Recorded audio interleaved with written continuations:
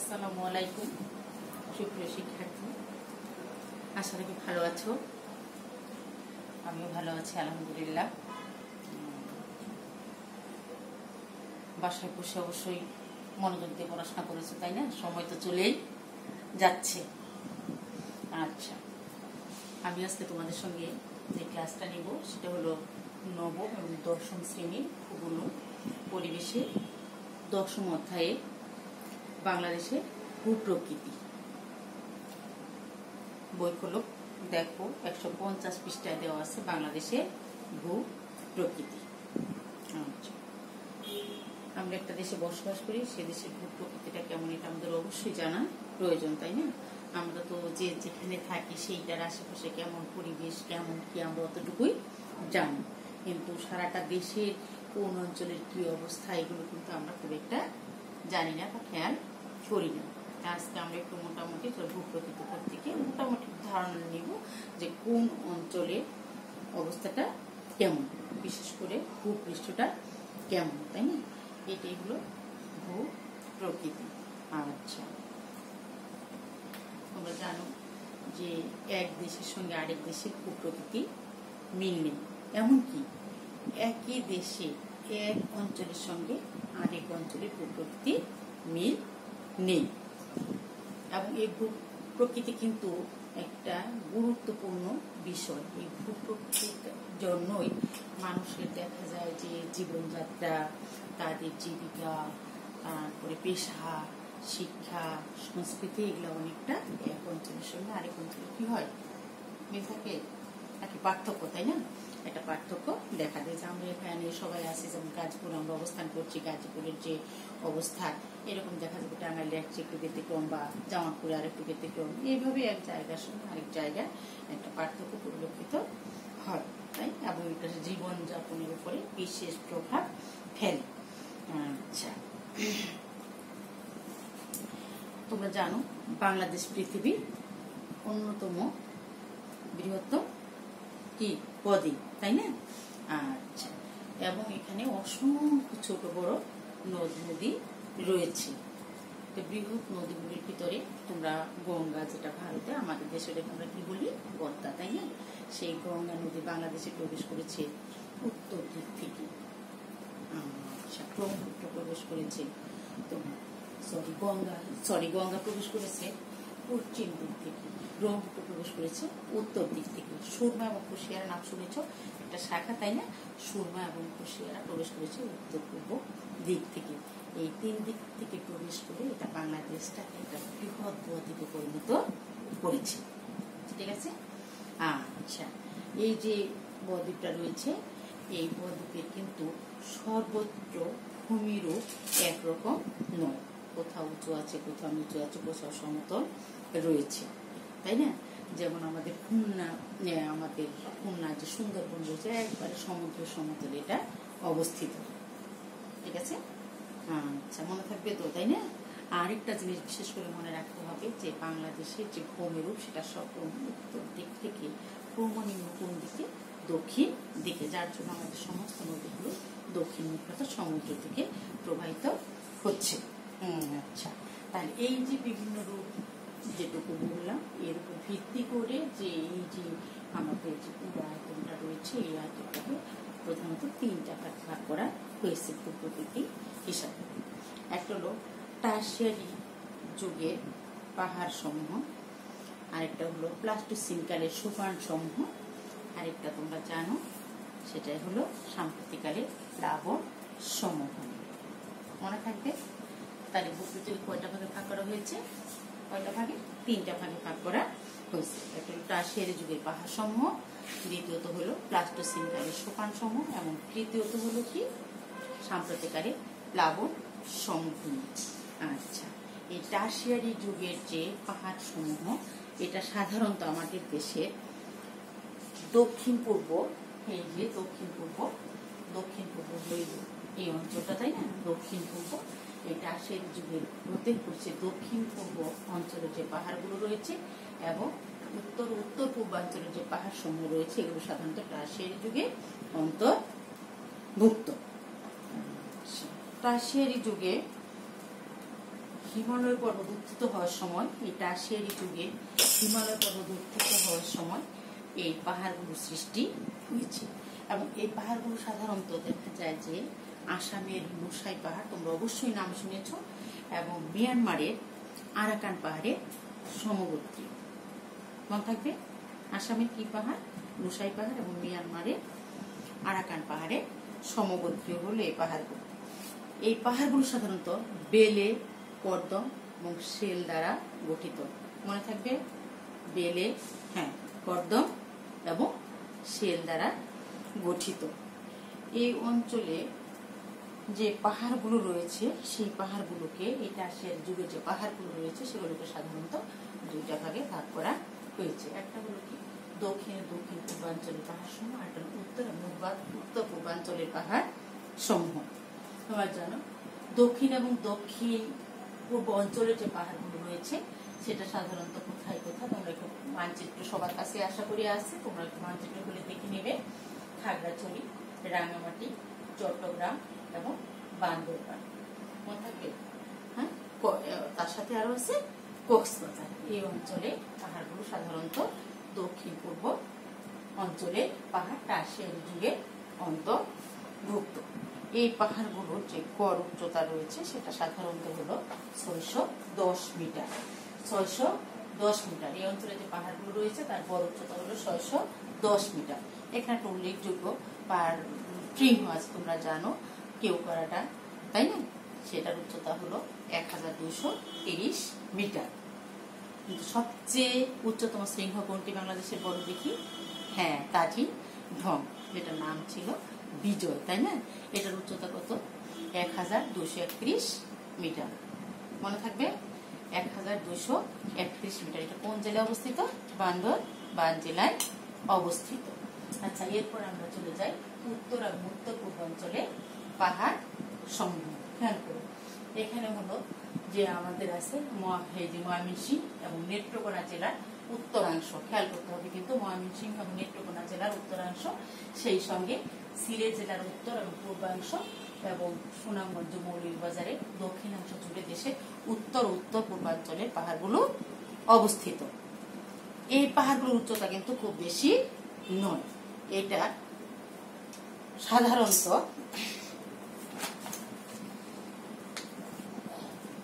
ত্রিশ থেকে নব্বই মিটার হয় এটা উচ্চতা। কত হয়? ত্রিশ থেকে নব্বই মিটার। তোমার খেয়াল রাখতে হবে তাহলে উত্তর এবং উত্তর পূর্বাঞ্চলের যে পাহাড়গুলো রয়েছে, সেটার উচ্চতা হলো ত্রিশ থেকে নব্বই মিটার। আচ্ছা। এরপরে আমরা চলে যাই প্লাস্টোসিনকালের সোপান সমূহ। কি হবে এরপরে? প্লাস্টোসিনকালের সোপান সমূহ। প্লাস্টোসিনকালের সোপান সমূহ আছে এখানে সাধারণত, অর্থাৎ বই যেটা বলে, সেটা হলো পঁচিশ হাজার বছর পূর্বের যে সময়টা সেই সময়টাকে বলা হয় প্লাস্টোসিনকাল কত?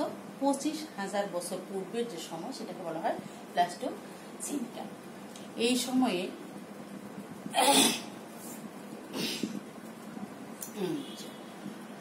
প্লাস্টোসিনকালে এই যে প্লাস্টোসিনকালে যে সোপান সমূহ রয়েছে, এই সোপান সমূহটা সাধারণত আমাদের হলো উত্তর এবং আমাদের সাধারণত উত্তর পশ্চিমাঞ্চলের উত্তর পশ্চিম বলতে হবে, এটা উত্তর এবং পশ্চিমাঞ্চলের যে বরেন্দ্রভূমি রয়েছে এবং মধ্যভাগে, এখানে যে মধ্যভাগে ভাওয়ালু মধুপুরের গড় রয়েছে এবং আরেকটা রয়েছে কি?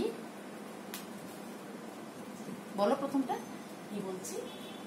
আমাদের বরেন্দ্র ভূমি, অর্থাৎ এই যে রাজশাহী অঞ্চলে যেটা রয়েছে, তার পিছনে মধ্যভাগে মধ্যভাগে, এটা পারো তো সবাই? গাজীপুর এবং টাঙ্গাইলের যে গড়, তাই না? ভাওয়াল এবং মধুপুরের গড়। আরেকটা রয়েছে কি? হ্যাঁ আচ্ছা আরেকটা রয়েছে লালমাই পাহাড়। লালমাই পাহাড় কোথায় জানো? হ্যাঁ কুমিল্লায়, তাই না? লালমাই পাহাড় হলো কুমিল্লায়। চলো আমরা একটু নিই। এই যে যে বরেন্দ্র ভূমি যেটা রয়েছে রাজশাহী অঞ্চলে, সেই বরেন্দ্র ভূমির আয়তনটা হলো নয় হাজার তিনশো বিশ বর্গ কিলোমিটার। কত? নয় হাজার তিনশো বর্গ তিনশো বিশ বর্গ কিলোমিটার। হ্যাঁ এবং এখানের যে ভূমির উচ্চতা সেটা ছয় থেকে বারো মিটার। কত? ছয় থেকে বারো মিটার। তাহলে আয়তন কত? নয় হাজার তিনশো বিশ বর্গ কিলোমিটার। আর এখানে ভূমির উচ্চতা সেটা হলো ছয় থেকে নিয়ে বারো মিটার। মনে থাকবে এবং এই সাধারণত মাটির রং হলো ধূসর এবং লালচে। কেমন? ধূসর এবং লালচে। এরপরে যেটা আমরা বলেছিলাম, সেটা হলো মধ্যভাগে যে মধুপুর এবং ভাওয়ালের গড়। আচ্ছা আমরা যে গাজীপুরে আছি, এই যে আমাদের যে স্কুল, সেই আনসার স্টুডেন্ট কলেজ, এটা কোথায়? কোন হ্যাঁ ভাওয়ালের করে তাই না? গাজীপুরে ভাওয়াল কলেজ আমাদের আশেপাশে, আমাদের স্কুলের পাশেই আছে কি? গজারি বন হুম? গজারি বন হলো ভাওয়ালের করের একটা গর্ব, তোমরা জানো। আচ্ছা এটা কোথাও অবস্থিত? এটা সাধারণত হলো আমাদের যে গাজীপুর এবং টাঙ্গাইল, এই যে বলছে গাজীপুর, টাঙ্গাইল এবং ঢাকার কিয়দাংশ নিয়ে এটা এই অঞ্চলটা গঠিত। এর আয়তন হলো চার হাজার একশো তিন বর্গ মিটার। কত হবে? চার হাজার একশো তিন বর্গ মিটার। এবং সমভূমি থেকে ওর উচ্চতা তিরিশ থেকে নব্বই মিটার। আচ্ছা সরি সমভূমি থেকে উচ্চতা হলো তিরিশ মিটার। এখানেও মাটির রং হলো লালচে এবং ধূসর। কেমন? লালচে এবং ধূসর।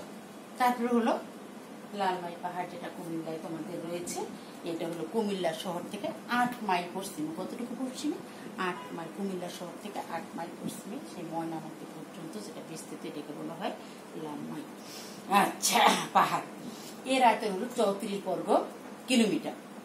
এর আয়তন কত? চৌত্রিশ বর্গ কিলোমিটার এবং এখানে যে ভূমির উচ্চতা সেটা হলো একুশ মিটার। তাহলে কি এগুলো আমাদের মনে থাকবে যে পরিসংখ্যানগুলো? এগুলো বই দেখে ভালো করে মুখস্থ করে নিবে। তাহলে বরেন্দ্র ভূমির আয়তন কত? নয় হাজার তিনশো বিশ বর্গ কিলোমিটার এবং মধুপুর ভাওয়ালের পর্যা আসে সেটার আয়তন হলো কত? চার হাজার একশো তিন বর্গ মিটার। মনে থাকবে তো? তিন বর্গ কিলোমিটার। এবং এর উচ্চতা হলো তিরিশ মিটার। আর লালমাই পাহাড়ের উচ্চতা হলো কত? একুশ মিটার। এত হ্যাঁ চৌত্রিশ বর্গ কিলোমিটার। আচ্ছা আমরা কিন্তু এই পরিসংখ্যানগুলো অবশ্যই ভালো করে করে নিব এবং স্মরণ রাখার চেষ্টা করতে হবে। যেহেতু পরীক্ষায় এই আয়তনগুলো তোমাদের জ্ঞানমূলক প্রশ্নে আসবে। আচ্ছা এরপর যেটা আছে সাম্প্রতিককালের প্লাবন সমভূমি। তোমরা জানো যে এই যে দুইটা আমরা যেটা বললাম টার্সিয়ারি যুগের পাহাড় এবং প্লাস্টোসিন কালের সোপান সমূহ এইটা যে ছাড়া আর বাকি যে ভূমি রয়েছে সবটাই হলো আমাদের সমভূমি, তাই না? যার জন্য আমাদের দেশ কৃষিতেও উর্বর, এটা তোমরা আগেই জানো। আচ্ছা এই সমভূমির যে আয়তনটা রয়েছে সমভূমির আয়তনটা হলো এক লক্ষ চব্বিশ হাজার দুইশো ছেষট্টি বর্গ কিলোমিটার। আবার আমরা একটু বলে মনে করি, এক লক্ষ চব্বিশ হাজার দুশো ছেষট্টি বর্গ কিলোমিটার। তাই না? আচ্ছা সমভূমি কীভাবে গঠিত হয়েছে তোমরা এটাও জানো, প্লাবন সমভূমি। প্লাবন বলতে বোঝা যায় যে বন্যার সঙ্গে একটা সম্পর্ক রয়েছে। আমাদের দেশ যেহেতু নদী বিধুত, অর্থাৎ জালের মতো নদী ছড়িয়ে আছে, প্রতি বছর বর্ষায় পলি পড়ে এবং এই পলি থেকে সঞ্চিত হয়েই যে সমভূমিটা হয়, সেটাকে বলা হয় প্লাবন সমভূমি। তাই না? এবং প্লাবন সমভূমিটা হলো কি? কৃষিকাজের জন্য বিশেষ উপযোগী এবং মানুষের জীবিকা নির্বাহ এই সমস্ত প্লাবন সমভূমি অঞ্চল যেটা, সেখানে মানুষের জীবিকা নির্বাহ সাধারণত অন্যান্য অঞ্চল থেকে অপেক্ষাকৃত সহজ। আচ্ছা তো এই প্লাবন সমভূমি যেটা রয়েছে, যে অঞ্চলগুলো আমরা দেখলাম, রাশিয়ার দিকে প্লাসম প্লাইটোসিনকারের সোপান সমূহ ছাড়া বাকি যে অংশটা রয়েছে, পুরোটাই হলো প্লাবন সমভূমি। এই প্লাবন সমভূমিটাকে ওর পাঁচটা অঞ্চলে বিভক্ত করেছে। কয়টা অঞ্চলে বিভক্ত করেছে? পাঁচটা অঞ্চলে বিভক্ত করেছে। তোমরা একটু খেয়াল করো। দেখো, রংপুর এবং দিনাজপুরের পাদদেশীয় সমভূমি রংপুর এবং দিনাজপুর। রংপুর এবং রংপুর এবং দিনাজপুরের পাদদেশীয় সমভূমি। রংপুর এবং দিনাজপুরেরটা কি? পাদদেশীয় সমভূমি। তারপর রয়েছে ঢাকা, টাঙ্গাইল, ময়মনসিংহ, জামালপুর, কুমিল্লা ঢাকা। এই যেখানে আছে তোমাদের ঢাকা এই যে টাঙ্গাইল ময়মনসিংহ এই যে জামালপুর এই অঞ্চলের যেটা রয়েছে এটাকে বলা সাধারণত প্লাবন সমভূমি। কি বলা হয়? প্লাবন, সমভূমি। আর ফরিদপুর এই যে রয়েছে ফরিদপুর কুষ্টিয়া যশোর এগুলা দিয়ে যে সমস্ত রয়েছে এটাকে সাধারণত বলা হয়ে থাকে বদ্বীপ সমভূমি। কি বলা হয় বদ্বীপ সমভূমি এবং নোয়াখালী ও ফেনী থেকে নোয়াখালী এবং ফেনী নিম্ন অঞ্চল থেকে নিয়ে সে আমাদের কক্সবাজার উপকূলীয় কক্সবাজার পর্যন্ত যে অঞ্চলটা রয়েছে, এটাকে বলা হয় উপকূলীয় সমভূমি। মনে থাকবে? কি বলা হয়? উপকূলীয় সমভূমি। আর সর্বশেষ যেটা আমাদের হলো, সেটা হলো আমাদের খুলনা এবং পটুয়াখালী অঞ্চল বরগুনা জেলার প্রিয়দর্শনী স্রোতজ সমভূমি। তাহলে খুলনা পটুয়াখালী এবং বরগুনা অঞ্চল থেকে নিয়ে যেটা সেটাকে বলা হয় স্রোতজ সমভূমি। এই যে স্রোতজ সমভূমি যেটা রয়েছে, এটা কিন্তু আমরা আমাদেরকে সমৃদ্ধ করেছে, তাই না? মোটামুটি সমভূমি অঞ্চলটাকে আমরা দেখলাম যে এটাকে পাঁচটা ভাগে বিভক্ত করা হয়েছে। এই পাঁচটা ভাগে যে বিভক্ত করা হয়েছে, সমভূমি অঞ্চলের যে ভূমিরূপ সেটা আমাদের জীবিকা নির্বাহের জন্য সহজ করেছে সঙ্গত, কারণে এই সমস্ত এলাকায় লোক ফাঁকা সাধারণত একটু বেশি। আর স্রোতজ সমভূমির যে অঞ্চলটা আমাদের রয়েছে স্রোতজ সম অঞ্চলে তোমরা খুলনা সুন্দরবনের কথা জানো, যেটা বিশ্বে একটা নন্দিত, প্রশংসিত একটা বন, যেটা আমাদেরকে সমৃদ্ধ করেছে। আমরা এই বন থেকে বিভিন্ন কিছু আহরণ করতে পারি, তাই না? বন সম্পদ সম্পর্কে তো অবশ্যই তোমরা পারো তাহলে আজকে যেটা আমরা করে নিলাম বাংলাদেশের ভূপ্রকৃতি, তাহলে ভূপ্রকৃতিটা আমাদের কেমন? এটাকে তিনটা ভাগে ভাগ করা হয়েছে প্রতিটা ভাগে কেমন আছে? এমনকি আমরা মোটামুটি সংক্ষিপ্তভাবে জেনে নিলাম। তোমরা এই অংশে একটা কাজ করবে, বাড়ির কাজ হিসাবে। একটা মানচিত্র এঁকে এই বিভিন্ন অঞ্চলগুলো চিহ্নিত করবে।